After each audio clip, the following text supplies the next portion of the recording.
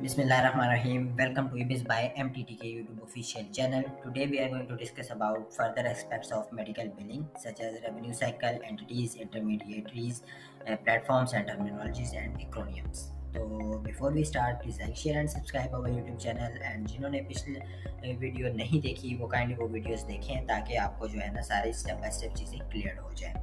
तो let's start today's topic के medical billing में रेवेन्यू साइकिल क्या है, और एंटिटीज़ क्या है इंटरमीडिएटरीज क्या है प्लेटफॉर्म्स क्या है एंड टर्मिनोलॉजीज एंड एक्रोनियम्स क्या है।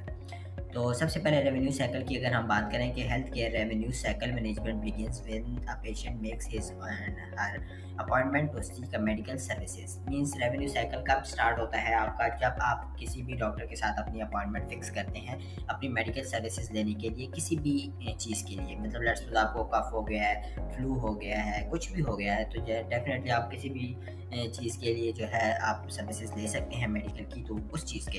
एंड एंड्स कहाँ पे होता है? जब आप when claims and patients payments have been collected जब आप क्लेम्स कर लेते हैं इंश्योरेंस कंपनी से और अपनी पेमेंट जो है मेडिकल बोर्ड को भी फॉरवर्ड कर देते हैं और जो आपकी अमाउंट क्लेम बनती है, वो आप अपनी क्लेम ले लेते हैं। However the life of a patient accounts is not as straightforward as it seems It involves complex administrations of financial transactions that results from medical encounters between a patient and a provider. These transactions include without limitations, billing, collections, payers, contracting, provider enrollment, coding, data analysis, management and compliance.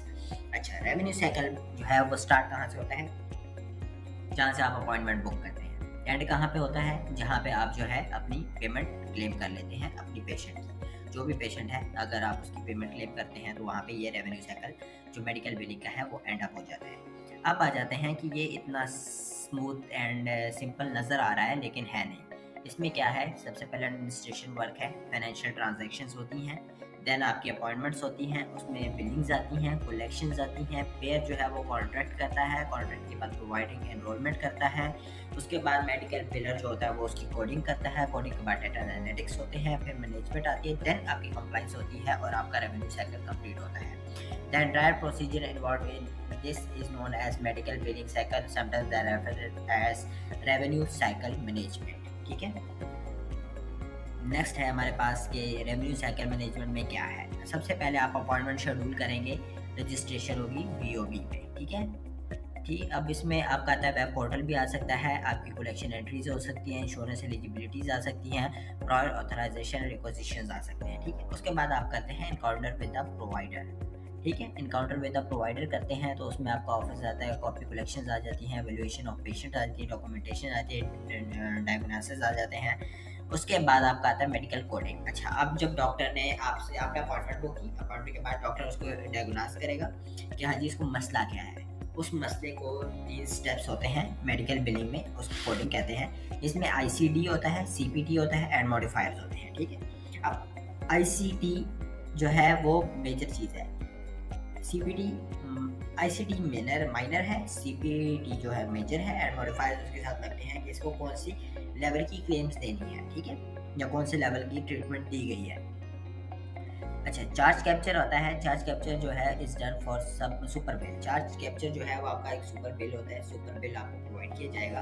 जब भी आप medical billing करेंगे या coding करेंगे तो उस bill में से आपने वो चीज़ करनी है कि यार लेट्स सपोज़ इसको ये इंजेक्शन लगा था तो इस इंजेक्शन के बिहार पे ये कोड बनता है और ये कोड आपने अटैच करना है। अच्छा उसके बाद आपने जब कोड लग गया कोड लगाने के बाद आपने क्लेम सबमिशन करनी है। इलेक्ट्रॉनिक्स होती हैं, ये सारी चीज़ें। अच्छा पेमेंट पोस्टिंग करनी है पोस्टिंग आपने किसको करनी है? इंश्योरेंस कंपनीज़ को।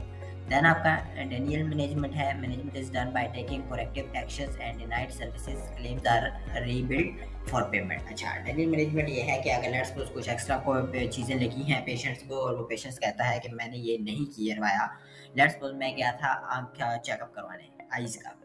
अब आइज़ की चेकअप पे मैंने उनसे सर्विसेज़ दी कि जस्ट चेकअप कर दें मैं अब गिलासेस हैं या लेट्स सपोज़ मेरे पास लेंसेज हैं तो वो मैं कहीं और से बनवाऊँगा। तो अगर वो डॉक्टर उस चीज़ को भी उसमें इंक्लूड करता है तो डेफिनेटली पेशेंट रिजेक्ट करेगा। आपने उस कोड को डिनाई करना है डिनाई करके रीपेमेंट बिल बनाना है और वो उसको सबमिशन करनी है। इंश्योरेंस कंपनी को और एंड में आता है फॉलो अप ये है पूरा revenue cycle board of medical billing मतलब वी से शुरू होता है अपॉइंटमेंट से। और एंड आता है फॉलो अप पे। इसमें स्टेप्स हैं one two three four five six seven seven steps हैं जिसमें आपने इसको कंप्लीट करना है। ये है रेवेन्यू साइकिल नेक्स्ट आ जाता है मेडिकल बिलिंग आपको हमने बता दिया था कि क्या प्रोसेस है। उसमें आ जाती है एंटिटीज़ ठीक है? अब देखिए मेडिकल बिलिंग में पहला सर स्टेप आ गया रेवेन्यू साइकिल का। अब आ जाते हैं एंटिटीज़ पे। अब एंटिटीज़ को हम नेक्स्ट वीडियो में डिस्कस करेंगे। ताकि आपको चीज़ें क्लियर हो जाएँ स्टेप बाय स्टेप लेके चलेंगे ताकि आप चीज़ों को लर्न कर सकें और आपको इजीली चीज़ों की नो हाँ हो सके। Thank you so much and keep supporting and see you soon in next video अल्लाह हाफिज़।